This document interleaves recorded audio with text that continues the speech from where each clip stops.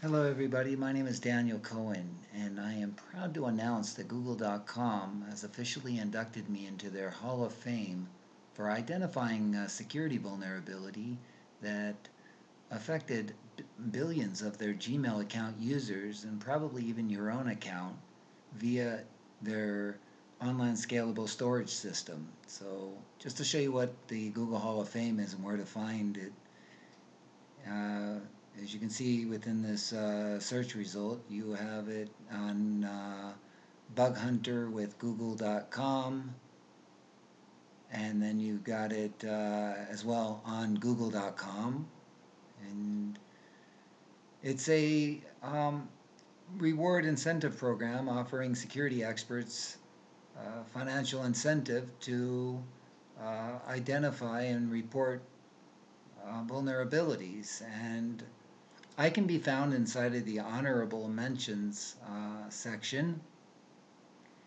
And this is a place where researchers who have submitted valid bugs but don't meet the bar for reward. In just a second, I'll be uh, explaining why I didn't meet the bar for reward.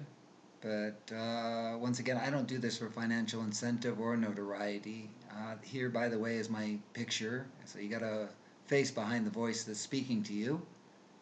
And um, Google, once again, I'm quite thrilled that they published a little bit of a, a bio, which reads that uh, Daniel Cohen is a world renowned security researcher and the only expert on earth to be publicly listed by Microsoft, Adobe, Apple, AT&T, and Google.com official websites for successfully penetrating their networks. His vulnerability reports and coding solutions have protected billions of online users worldwide. So once again, I am quite honored uh, by that acknowledgement, but this video, once again, is not about financial incentive and rewards or uh, notoriety. It's about uh, bringing awareness to um, security and privacy. So you'll notice here on August 15, 2018, I submitted a vulnerability report uh, pertaining to drive.google.com, which is a scalable storage system that is cross-platformed into the Google uh, uh, Gmail account, offering you the opportunity to synchronize and save your files. And you'll notice that I reported that I had access to people's files and folders that otherwise I had no, uh, I didn't have their consent uh, to either view or edit those files. Now, once again, this is traditionally um, a service that allows you to store and uh, share files and basically give user privileges to each person you would be sharing the file with. So, um, as you can see here, here's some of your options and it dynamically generates a URL link for people to access the file. And again, depending on the privileges, sometimes you're allowing somebody to edit the file, others can comment, and um, sometimes you give privileges that people can download the files. So this system um, basically was designed for you to synchronize your files to google.com no differently than your iphone synchronizes to the icloud. And what i'm going to be discussing a little bit about in this video is once again uh, the vulnerability which by the way it has been plugged. And I get back to my emails I'll show you uh, a little bit about the conversation the back and forth that I had with them. But having your files uh, automatically uploaded to their drive.google.com is potentially very dangerous should a hacker be able to penetrate the system. So once again, on August 15, 2018, I submitted this report. And there was a little bit of back and forth as I uh, also submitted some code that I had written to plug the vulnerability and it took a little a couple of days before they were actually able to designate a Google engineer to look it over And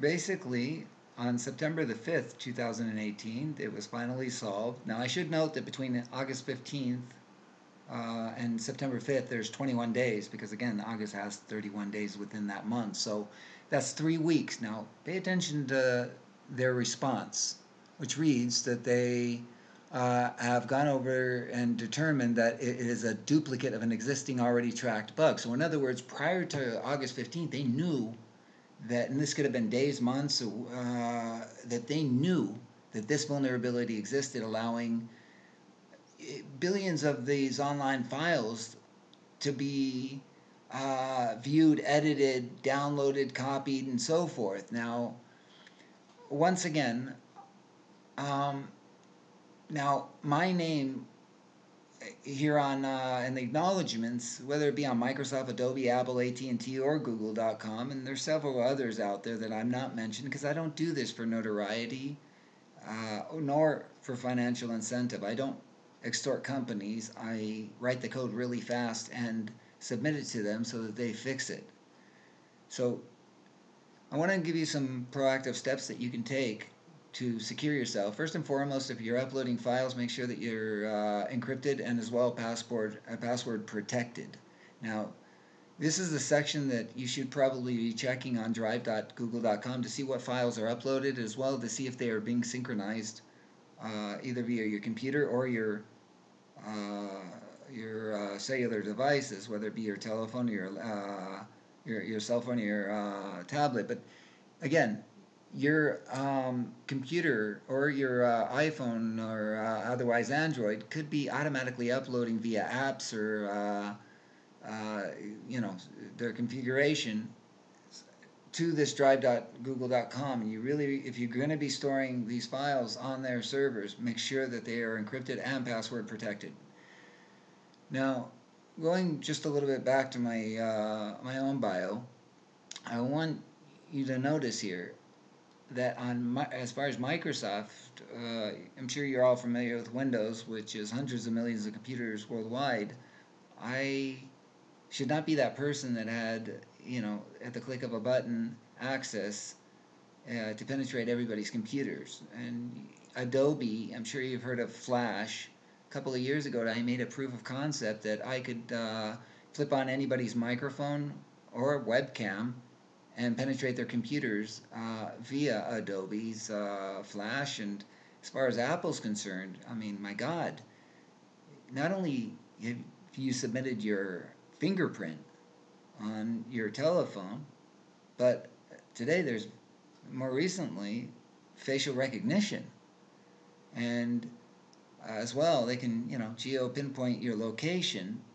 So, should the telephone or the cloud be penetrated, all your information is out there. Now, AT&T is the one of the largest U.S. Uh, telephone companies in the world, and uh, a guy like myself should not have access to your um, telephone uh, logs or your internet internet usage. And of course, once again, Google whether we're talking about your uh, email communications or your personal files, you really must take proactive steps to securing um, your uh, privacy because while I'm sure that these Fortune 500 companies Meanwhile, there is a bit of incompetency and the internet is very dynamic uh, to the extent that every other day new bugs and vulnerabilities uh, present themselves and they undermined the uh, integrity of uh, existing security uh, measures. And I just want to uh, note in final words that the founding principles of freedom is both security and privacy. So, in other words, if you don't have security and privacy, you don't have freedom. So, from me to you, please do take those proactive steps to securing yourself uh, and don't put your fate in uh, the hands of uh, these Fortune 500 companies and take it for granted. And uh, with that said, I wish you all a superior online experience.